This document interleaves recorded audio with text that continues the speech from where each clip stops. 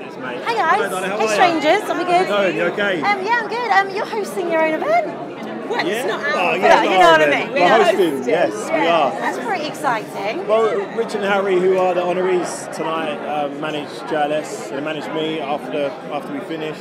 So obviously they're dear friends of both of ours. Yeah, so very um, good friends of you know, it's an absolute no-brainer for us to come in tonight and celebrate. You know, a big night for them. Is the pressure on though? Do you get nervous? Not at all. You know, it's our job. So and we're in a we're in a friendly room with lots of people that we know. Yeah, exactly. Yeah, we think- we're together. You know, I always feel sorry for people when they have to do things on their own. And Yeah, like, yeah, we can, if I don't want to say something, I'm like, you say that, or vice Which versa. she's already done tonight. Which I've done several times. But doesn't it put the pressure on the fact that you got to find a babysitter? My mum. Thank you, mum. Um, yeah, she's um, at. I'm trying to convince her to stay, just so that you know, if you want a little drink, you can. I'm like, do you want to stay and do the school run? She's like, no. I love it. Do do you feel that there's still an opportunity to get back into the music industry now that you've dipped your toe in TV?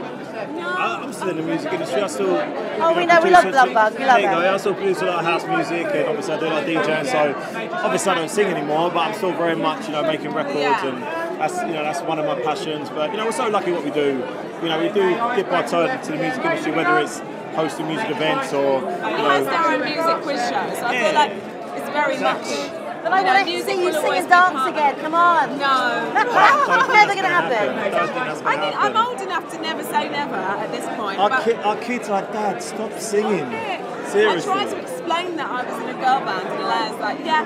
So um, little bit. So she just not interested. So yeah, I think uh, TV's always been my biggest passion. I started off presenting for children's telly before Saturdays. So I think yeah, I mean I feel lucky that in my career I've been able to do that. Yeah. TV's where my passion lies for sure. Well, thank you so much, guys. Enjoy Thank you, tonight. Good nice luck. to see you. again. Thanks. Cheers, babe. Thank you.